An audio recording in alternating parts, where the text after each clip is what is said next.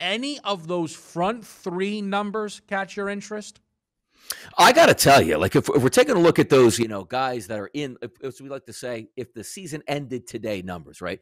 Rays would be in, Mariners would be in, and the Blue Jays. Now, there's a couple teams behind them, but I got to tell you, I'm starting to believe the Seattle Mariners. I, I don't want to say they're the truth, Kevin, as if they're going to do damage in the playoffs, but I look at them right now, 51 and 42.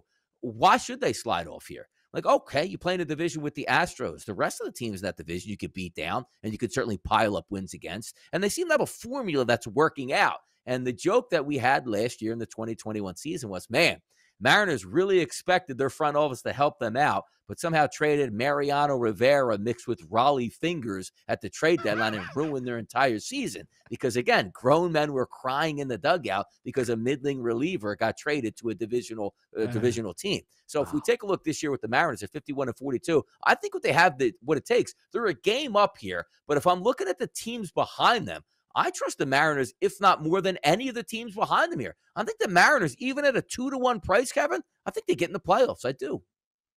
Look, I obviously they are red, red hot right now. And here's the big boost for Seattle compare.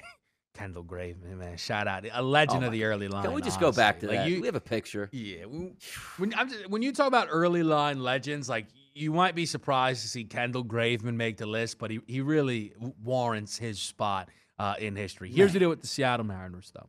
They have the sixth easiest strength of schedule for the second half of the season.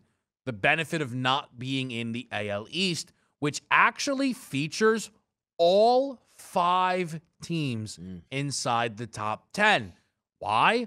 Because they all have to play each other the entire way. That's the big difference maker there. So to me, it becomes very interesting. Because if I were to try and tell you, okay, one of Toronto or Tampa could miss, well, I can't try and sell you on Boston making it, who has the second most difficult schedule during the second half of the season. It would require a Guardians, perhaps, or maybe even a Chicago White Sox. Before we get to those teams, I will say, though, Donnie, the minus 500 on Toronto does not feel warranted.